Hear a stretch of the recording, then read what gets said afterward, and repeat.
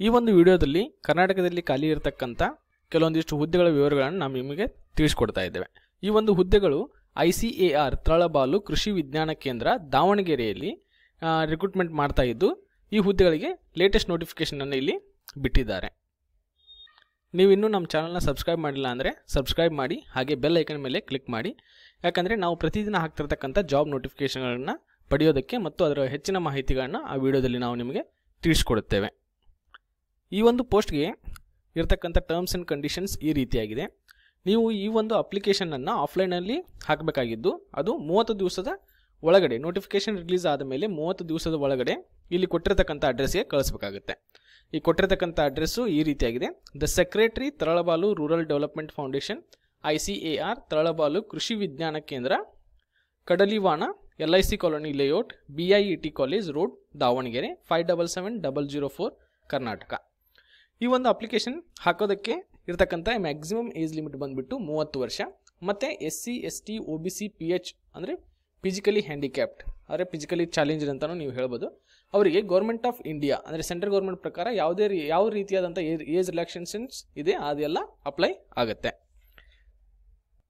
ಹಾಗೆ ಈ ಒಂದು ಅಪ್ಲಿಕೇಶನ್ ಅಪ್ಲಿಕೇಶನ್ ಫಾರ್ಮ್ ಇದೆ. ಅದನ್ನು ನೀವು ಡೌನ್ಲೋಡ್ ಮಾಡ್ಕೊಂಡ್ಬಿಟ್ಟು self application details caste certificate ಅಂದರೆ ಜಾತಿ ಸರ್ಟಿಫಿಕೇಟು ಏಜ್ ರಿಲ್ಯಾಕ್ಸೇಷನ್ ಇದ್ದರೆ ಅದರ ಸರ್ಟಿಫಿಕೇಟು ಮತ್ತು ಒಂದು ಫೋಟೋ ಸೆಲ್ಫ್ ಅಟ್ರೆಸ್ಟೆಡ್ ಫೋಟೋ ನೀವು ಆ ಅಪ್ಲಿಕೇಶನ್ ಫಾರ್ಮ್ಗೆ ಹಚ್ಚಿಬಿಟ್ಟು ನಾವಿಲ್ಲಿ ತಿಳಿಸ್ಕೊಟ್ಟಂಥ ಅಡ್ರೆಸ್ಗೆ ನೀವು ಕಳಿಸ್ಬೇಕಾಗುತ್ತೆ.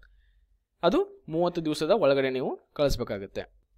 ಇನ್ನು ನೀವು ಎಲ್ಲಾದರೂ ಕೆಲಸ ಮಾಡ್ತಾ ಇದ್ದರೆ ಅಂದರೆ ಎಂಪ್ಲಾಯ್ ಆಗಿದ್ದರೆ ಈ- ಒಂದು ಪೋಸ್ಟ್ಗೆ ನೀವು ಅಪ್ಲಿಕೇಶನ್ ಹಾಕ್ತಾ ನೀವು ಆ ಒಂದು ಕೆಲಸ ಮಾಡಿದಿರ್ತಕ್ಕಂಥ ಸಂಸ್ಥೆ, ಸಂಸ್ಥೆಯಿಂದ ನೋ ಅಬ್ಜೆಕ್ಷನ್ ಸರ್ಟಿಫಿಕೇಟನ್ನು ಪಡೆದುಕೊಂಡು ಅಪ್ಲಿಕೇಶನ್ ಜೊತೆಗೆ ಅಟ್ಯಾಚ್ ಮಾಡಿಬಿಟ್ಟು ಕಳಿಸ್ಬೇಕಾಗುತ್ತೆ. ಮತ್ತು ನೀವು ಹಾಕಿರ್ತಕ್ಕಂಥ ಅಪ್ಲಿಕೇಶನ್ ಏನಾದರೂ ಇನ್ಕಂಪ್ಲೀಟ್ ಅಂತಂದರೆ ನೀವು ಯಾವುದಾದ್ರೂ ಇನ್ಫಾರ್ಮೇಷನ್ ಕೊಡೋದನ್ನು ಮಿಸ್ ಮಾಡಿದರೆ ಆ ಒಂದು ಅಪ್ಲಿಕೇಶನನ್ನು ಕನ್ಸಿಡರ್ ಮಾಡೋದಿಲ್ಲ. ಮತ್ತು ನೀವು ಈ ಒಂದು ಫೌಂಡೇಶನ್ನಲ್ಲಿ ಯಾವುದಾದ್ರು ಹಾಕಿದರೆ ಈ ಒಂದು ಫೌಂಡೇಶನ್ಗೆ ಮಾತ್ರ ಅಧಿಕಾರ ಇದ್ದು ಆ ಒಂದು ಅಪ್ಲಿಕೇಶನನ್ನು ಅವರು ಕಂಟಿನ್ಯೂ ಮಾಡ್ಬೋದು, ಅಂದರೆ ರಿಕ್ರೂಟ್ಮೆಂಟನ್ನು ಕಂಟಿನ್ಯೂ ಮಾಡ್ಬೋದು ಅಥವಾ ರಿಜೆಕ್ಟ್ ಮಾಡ್ಬೋದು ಅಂತ ಈ ಒಂದು ಒಂಬತ್ತನೇ ಪಾಯಿಂಟ್ಸಲ್ಲಿ ನಿಮಗೆ ತಿಳಿಸ್ಕೊಟ್ಟಿದ್ದಾರೆ.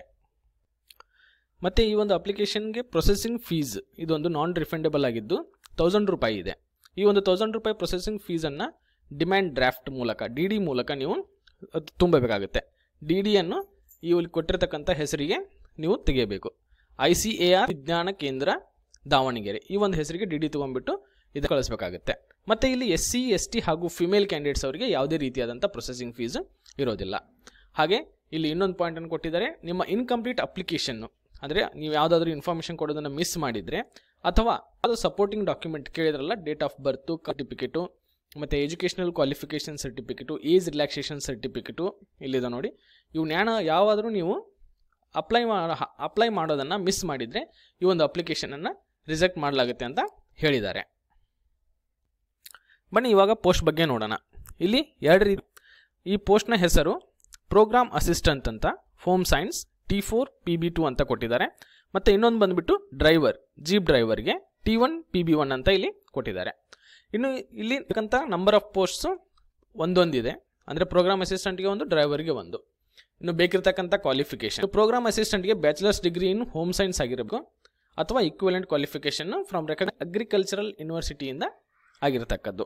ಇನ್ನು ಡ್ರೈವರ್ಗೆ ಜೀಪ್ ಡ್ರೈವರ್ಗೆ ಎಸೆನ್ಷಿಯಲ್ ಕ್ವಾಲಿಫಿಕೇಷನ್ ಬಂದ್ಬಿಟ್ಟು ಹತ್ತನೇ ತರಗತಿ ಪಾಸ್ ಆಗಿರಬೇಕು. ಇನ್ನೆದ್ದು ಒಂದು ವ್ಯಾಲಿಡ್ ಅಪ್ರೋಪ್ರಿಯೇಟ್ ಡ್ರೈವಿಂಗ್ ಲೈಸೆನ್ಸನ್ನು ಹೊಂದಿರಬೇಕಾಗಿರುತ್ತದೆ. ಇನ್ನು ಈ ಒಂದು ಡ್ರೈವರ್ ಪೋಸ್ಟ್ಗೆ ಎಡಿಷನಲ್ ಕ್ವಾಲಿಫಿಕೇಷನ್ ಈ ರೀತಿಯಾಗಿದೆ. One year trade certificate on the relevant field from the I T I ಅಂತ ಕೇಳಿದ್ದಾರೆ. ಎಕ್ಸ್ಪೀರಿಯನ್ಸ್ ಇರಬೇಕು ರೆಕಗ್ನೈಸ್ಡ್ ಇನ್ಸ್ಟಿಟ್ಯೂಟಲ್ಲಿ ಅಥವಾ ಮೋಟರ್ ಮೆಕ್ಯಾನಿಕ್ ವರ್ಕಲ್ಲಿ ನಿಮಗೆ ಎಕ್ಸ್ಪೀರಿಯನ್ಸನ್ನು ಹೊಂದಿರಬೇಕಾಗತ್ತೆ. ಇನ್ನು ಈ ಪ್ರೋಗ್ರಾಮ್ ಅಸಿಸ್ಟೆಂಟ್ ಹುದ್ದೆಗೆ ಕೊಟ್ಟಿರತಕ್ಕಂಥ ಪೇ ಸ್ಕೇಲ್ ಅಥವಾ ಗ್ರೇಡ್ ಪೇ ಅಂತ ಏನು ಕೇಳಿರ್ತೇವೆ ಅದು ಈ ರೀತಿಯಾಗಿದೆ. ಒಂಬತ್ತು ಸಾವಿರದ ಮೂರುನೂರಿಂದ ಮೂವತ್ತ್ನಾಲ್ಕು ಸಾವಿರದ ಎಂಟುನೂರು. ಇನ್ನು ಗ್ರೇಡ್ ಪೇ ಬಂದುಬಿಟ್ಟು ನಾಲ್ಕು ಸಾವಿರದ ಎಂಟುನೂರನ್ನು ಇಲ್ಲಿ ನಿಮಗೆ ಕೊಡ್ತಾರೆ. ಇನ್ನು ಡ್ರೈವರ್ ಪೋಸ್ಟ್ಗೆ ಐದು ಸಾವಿರದ ಎರಡುನೂರಿಂದ ಇಪ್ಪತ್ತು ಸಾವಿರದ ಎರಡುನೂರು ಗ್ರೇಡ್ ಪೇ ಬಂದುಬಿಟ್ಟು ನಿಮಗೆ ಇಲ್ಲಿ ಕೊಡಲಾಗುತ್ತೆ. ಇದು ಬಂದುಬಿಟ್ಟು ಈ ಒಂದು ಎರಡು ಹುದ್ದೆಗಳ ವಿವರ. ಬನ್ನಿ ಇದರ ಬಗ್ಗೆ ಇನ್ನಷ್ಟು ಹೆಚ್ಚಿನ ಮಾಹಿತಿಯನ್ನು ನಾವು ಇಲ್ಲಿ ಅಪ್ಲಿಕೇಶನ್ ಫಾರ್ಮ್ ಹೇಗೆ ತುಂಬಿಕೊಳ್ಳೋದನ್ನು ತುಂಬ್ಕೊ, ತುಂಬೋದು ಅಂತ ಹೇಳ್ಬಿಟ್ಟು ತಿಳಿಸ್ಕೊಡ್ತೇವೆ. ಡ್ರೈವರ್ ಪೋಸ್ಟ್ಗೆ ರಿಲೀಸ್ ಮಾಡಿರ್ತಕ್ಕಂಥ ಅಪ್ಲಿಕೇಶನ್ ಫಾರ್ಮ್. ಇಲ್ಲಿ ನಿಮ್ಮ ಫೋಟೋ ಬರುತ್ತೆ. ಹಾಗೆ ಇದು ಬಂದ್ಬಿಟ್ಟು ನೀವು ಕಳಿಸ್ತಿರ್ತಕ್ಕಂಥ ವಿಳಾಸದ ಹೆಸರು. ಇನ್ನು ಸಬ್ಜೆಕ್ಟು ಅವರೇ ಪ್ರಿಂಟ್ ಮಾಡಿದ್ದಾರೆ. ರೆಫರೆನ್ಸ್, ಈ ಒಂದು ಎಂಪ್ಲಾಯ್ ರೆಫರೆನ್ಸ್ ನಂಬರನ್ನು ಅವರೇ ಪ್ರಿಂಟ್ ಮಾಡಿದ್ದಾರೆ. ಅದೇನು ತಲೆ ಕೆಡಿಸ್ಕೋಬೇಕಾಗಿಲ್ಲ ಇನ್ನು ಫುಲ್ ನೇಮು. ಫುಲ್ ನೇಮ್ ಬಂದುಬಿಟ್ಟು ನೀವು ಎಲ್ ಎಸ್ ಎಲ್ ಸಿಯಲ್ಲಿ ಯಾವ ರೀತಿಯಾಗಿದೆ ಅದನ್ನು ಇಲ್ಲಿ ಬರಬೇಕಾಗುತ್ತೆ. First name, middle name, surname. ಹಾಗೆ ನಿಮ್ಮ ಕರೆಸ್ಪಾಂಡೆನ್ಸ್ ಅಡ್ರೆಸ್ಸು. ಪರ್ಮನೆಂಟು ಇಲ್ಲ ಅಂದರೆ ಟೆಂಪ್ರರಿ ಅಡ್ರೆಸ್ಸನ್ನು ಕೊಡಬೇಕು. ಕಾಂಟ್ಯಾಕ್ಟ್ ನಂಬರು, ಅದು ಮೊಬೈಲ್ ನಂಬರ್ ಕೊಡಿ. ಥರ ಯಾವ್ದು ಪರ್ಮನೆಂಟ್ ಆಗಿರುತ್ತೆ mobile number fax number almost ಇದ್ದರೆ ಕೊಡ್ಬೋದು ಇಲ್ಲ ಅಂದರೆ ಇಲ್ಲ. ಇನ್ನು ಇಮೇಲು ಇಮೇಲು ಕಾಂಟ್ಯಾಕ್ಟ್ ನಂಬರ್ ಇದೆರಡು ಇಂಪಾರ್ಟೆಂಟ್ ಆಗಿದೆ. ಯಾಕಂದರೆ ಇವಾಗ ಡಿಜಿಟಲ್ ಆಗಿರೋದ್ರಿಂದ ನಿಮಗೆ ಇನ್ಫಾರ್ಮೇಷನ್ ಏನಾದರೂ ಕಳಿಸ್ಬೇಕಂದ್ರೆ ಇಮೇಲ್ ಅಥವಾ ಮೊಬೈಲ್ಗೆ ಕಳಿಸಲಾಗುತ್ತೆ. ಏನು ಡೇಟ್ ಆಫ್ ಬರ್ತು ನಿಮ್ಮ ಅದನ್ನು ಇಲ್ಲಿ ನೀವು ಡಿಸ್ಕ್ಲೋಸ್ ಮಾಡಬೇಕಾಗುತ್ತೆ. Is as on closing date ಆ ಕ್ಲೋಸಿಂಗ್ ಡೇಟು ಯಾವಾಗಿದೆ ಅಂತಂದರೆ ನೋಟಿಫಿಕೇಷನ್ ರಿಲೀಸ್ ಆದ ಡೇಟು ಪ್ಲಸ್ ತರ್ಟಿ ಡೇಸು ಅದು ಕ್ಲೋಸ್ ಆಗುತ್ತಲ್ವ? ಆ ಕ್ಲೋಸಿಂಗ್ ಡೇಟಿಗೆ ನಿಮ್ಗೆ ಏಜ್ ಎಷ್ಟಿದೆ? ಎಷ್ಟಾಗಿದೆ ಅನ್ನೋದನ್ನು ಕ್ಯಾಲ್ಕುಲೇಟ್ ಮಾಡಿಬಿಟ್ಟು ಇಲ್ಲಿ ಹಾಕಿ ಜೆಂಡರ್ನ ಡಿಸ್ಕ್ಲೋಸ್ ಮಾಡಿ ಮೇಲ್ ಅಥವಾ ಫಿಮೇಲ್ ಅಂತ. ಇನ್ನು ಕ್ಯಾಟಗರಿ ಅಥವಾ ಕ್ಯಾಸ್ಟ್ ಯಾವುದಿದೆ ಅದನ್ನು ಇಲ್ಲಿ ಹೇಳ್ಬೋದು. ಇಲ್ಲಿ ಸೆವೆಂತ್ ಬಂದುಬಿಟ್ಟು ಎಜುಕೇಷನಲ್ ಕ್ವಾಲಿಫಿಕೇಷನ್ಸು ಯಾವ ರೀತಿಯಾದಂಥ ಕ್ವಾಲಿಫಿಕೇಷನ್ ನೀವು ಹೊಂದಿದ್ದೀರಾ ಅನ್ನೋದನ್ನು ಇಲ್ಲಿ ಕಂಪ್ಲೀಟಾಗಿ ಡೀಟೇಲ್ಸನ್ನು ಕೊಡಬೇಕಾಗುತ್ತೆ. ಇನ್ನು ಡಿಸೈರೇಬಲ್ ಎಕ್ಸ್ಪೀರಿಯನ್ಸ್ ನಿಮಗಲ್ಲಿ ಕೇಳಿದ್ದಾರೆ ಡ್ರೈವಿಂಗ್ ಎಕ್ಸ್ಪೀರಿಯೆನ್ಸು ಮತ್ತು ಐ ಟಿ ಐ ಇಲ್ಲಾಂದರೆ ವರ್ಕ್ ಮೆಕ್ಯಾನಿಕ್ ವರ್ಕ್ ಎಕ್ಸ್ಪೀರಿಯೆನ್ಸು ನೀವು ಅದರಲ್ಲಿ ಯಾವುದಾದ್ರೂ ನಿಮಗೆ ಎಕ್ಸ್ಪೀರಿಯೆನ್ಸ್ ಆಗಿದ್ದರೆ ಅದನ್ನು ಈ ಒಂದು ಕಾಲಮನಲ್ಲಿ ಫಿಲ್ ಮಾಡಿಬಿಟ್ಟು ಕಳಿಸ್ಬೇಕಾಗತ್ತೆ. ಅದಾದ ನಂತರ ಡೇ ಟು ಪ್ಲೇಸ್ ಹಾಕಿಬಿಟ್ಟು ನೀವು ಇಲ್ಲಿ ಲಿಸ್ಟ್ ಆಫ್ ಎನ್ಕ್ಲೂಸರ್ ಯಾವುದ್ಯಾವ್ದು ಇನ್ಕ್ಲೂಸ್ ಮಾಡಿದ್ದೀರಾ? ಅಂದರೆ ಡೇಟ್ ಆಫ್ ಬರ್ತ್ಗೆ ಯಾವ್ದು ಮಾಡಿದ್ದೀರಾ? ಕಾಸ್ಟ್ ಸರ್ಟಿಫಿಕೇಟ್ಗೆ ಯಾವ್ದು ಮಾಡಿರಾ ಎಕ್ಸ್ಪೀರಿಯೆನ್ಸಿಗೆ ಯಾವ ರೀತಿಯಾದ ಡಾಕ್ಯುಮೆಂಟನ್ನು ನೀವು ಕೊಟ್ಟಿದ್ದೀರಾ ಅನ್ನೋದನ್ನ ಇಲ್ಲೆಲ್ಲ ಅದನ್ನು ಬರೀಬೇಕಾಗುತ್ತೆ. ಬರೆದ್ಬಿಟ್ಟು ನೀವು ಸಿಗ್ನೇಚರ್ ಮಾಡಿಬಿಟ್ಟು ನಿಮ್ಮ ಹೆಸರು ಅಪ್ಲಿಕೆಂಟ್ ನೇಮ್ ಅಂತಂದರೆ ನಿಮ್ಮ ಹೆಸರು ಹಾಕಿಬಿಟ್ಟು ಈ ಒಂದು ಅಪ್ಲಿಕೇಶನ್ ಫಾರ್ಮನ್ನು ನಾವು ಹೇಳಿರ್ತಕ್ಕಂಥ ಅಡ್ರೆಸ್ಗೆ ಕಳಿಸ್ಕೊಡ್ಬೇಕಾಗತ್ತೆ.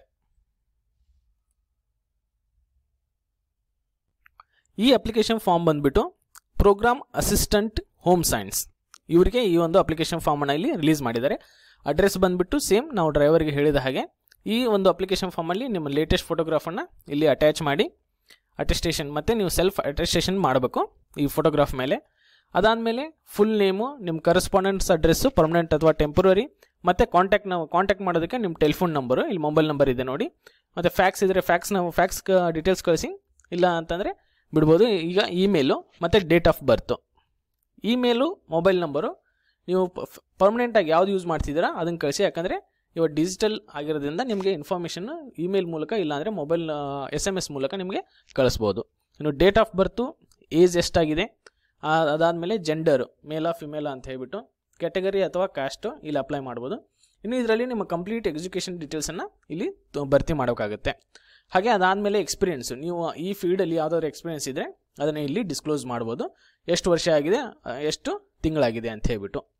ಮತ್ತು ನೀವು ರಿಸರ್ಚ್ ಪೇಪರ್ ಈ ಒಂದು ನಿಮ್ಮ ಫೀಲ್ಡಲ್ಲಿ ರಿಸರ್ಚ್ ಮಾಡಿಬಿಟ್ಟು ಯಾವುದಾದ್ರು ರಿಸರ್ಚ್ ಪೇಪರನ್ನು ನೀವು ಪಬ್ಲಿಕೇಶನ್ ಮಾಡಿದರೆ ಜರ್ನಲ್ಲು ಅಥವಾ ರಿಸರ್ಚ್ ಪೇಪರು ಆರ್ಟಿಕಲ್ ಅಂತ ಕರಿತೇವೆ.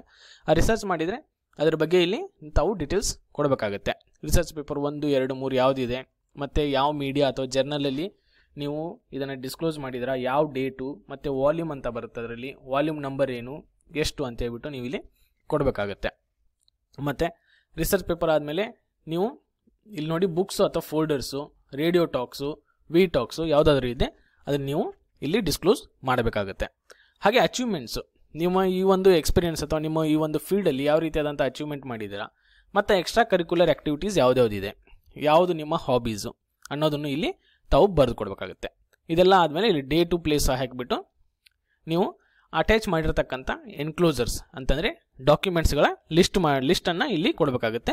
ಲಿಸ್ಟ್ ಕೊಟ್ಟಾದಮೇಲೆ ನೀವು ಸಿಗ್ನೇಚರ್ ಮಾಡಿ ಸಿಗ್ನೇಚರ್ ಮಾಡಿಬಿಟ್ಟು ನಿಮ್ಮ ಹೆಸರನ್ನು ಬರೀರಿ. ಅಪ್ಲಿಕೆಂಟ್ ಹೆಸರು ಅಂದರೆ ನೀವೇ ನಿಮ್ಮ ಹೆಸರನ್ನು ಬರೆದುಬಿಟ್ಟು ಈ ಒಂದು ಅಪ್ಲಿಕೇಶನ್ ಫಾರ್ಮನ್ನು ತಾವು ಡಿ ಮೂಲಕ ಇಲ್ಲಿ ಕೊಟ್ಟಿರ್ತಕ್ಕಂಥ ಅಡ್ರೆಸ್ಗೆ ಕಳಿಸ್ಬೇಕಾಗತ್ತೆ.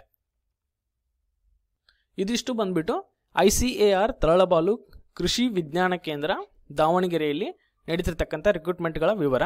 ಹೀಗೆ ಗೌರ್ಮೆಂಟ್ ಜಾಬ್ಸ್ ಡೀಟೇಲ್ಸ್ಗಳನ್ನು ಪಡೆಯಲು ನಮ್ಮ ಚಾನಲ್ಗೆ ಸಬ್ಸ್ಕ್ರೈಬ್ ಮಾಡಿ, ಹಾಗೆ ಬೆಲ್ ಐಕನ್ ಮೇಲೆ ಕ್ಲಿಕ್ ಮಾಡಿ, ನಾವು ಡೈಲಿ ನಿಮಗೆ ಇದೇ ರೀತಿಯಾದಂಥ ವಿಡಿಯೋಗಳನ್ನು ಕೊಡ್ತಾ ಇರ್ತೇವೆ. Thank you